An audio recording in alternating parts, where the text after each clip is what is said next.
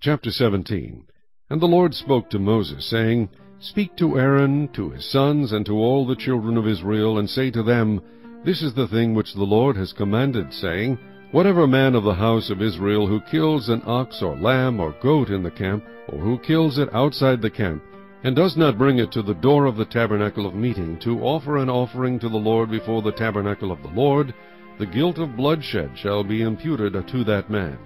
He has shed blood, and that man shall be cut off from among his people, to the end that the children of Israel may bring their sacrifices which they offer in the open field, that they may bring them to the Lord at the door of the tabernacle of meeting, to the priest, and offer them as peace offerings to the Lord. And the priest shall sprinkle the blood on the altar of the Lord at the door of the tabernacle of meeting, and burn the fat for a sweet aroma to the Lord.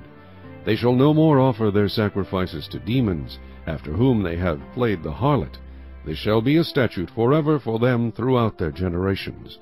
Also you shall say to them, Whatever man of the house of Israel, or of the strangers who dwell among you, who offers a burnt offering or sacrifice, and does not bring it to the door of the tabernacle of meeting, to offer it to the Lord, that man shall be cut off from among his people. And whatever man of the house of Israel, or of the strangers who dwell among you, who eats any blood, I will set my face against that person who eats blood, and will cut him off from among his people. For the life of the flesh is in the blood, and I have given it to you upon the altar to make atonement for your souls, for it is the blood that makes atonement for the soul. Therefore I said to the children of Israel, No one among you shall eat blood, nor shall any stranger who dwells among you eat blood.